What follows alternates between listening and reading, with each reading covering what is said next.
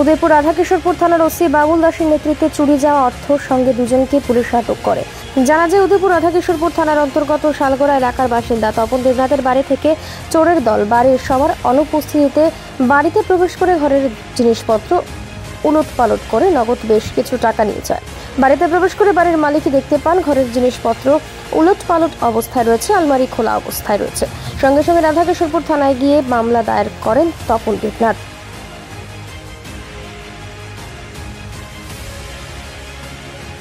কলকাতাতে যে শালগড়া এলাকার তমন দেবনাথের বাড়ি থেকে, তাদের অনুপস্থিতিতে চুরুটদল প্রবেশ করে তাদের বাড়ি থেকে কিছু টাকা পয়সা নিয়ে যায়।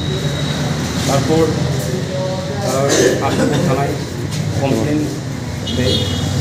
এই বেসিসে থানায় একটি কেস রেজিস্টার হয় এবং এই কেসের তদন্তক্রমে প্রথমে আমরা শালগড়া, তেপানিয়া শালগড়া এলাকার মালুমিয়া রিয়াজ হোসেন তাকে অ্যারেস্ট করি।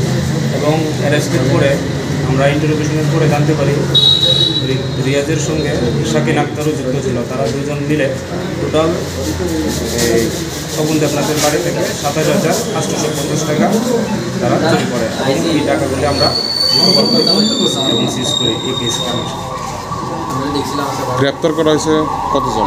দুজনকে অ্যারেস্ট করা। কত টাকা উদ্ধার হয়েছে ওদের কাছ টোটাল সাতাশ হাজার পঞ্চাশ। এছাড়া কি অন্য কিছু আছিল না? আগামীকাল কি কোর্টে তোলা হবে?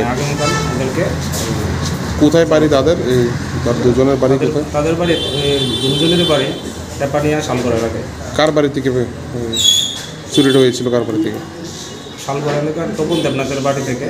চুরি গেছিল কি করে তাই পেশায় তপন আপনার তপন দেবনাথ এই উদয়পুর সবজি ব্যবসায়ী বলছিলাম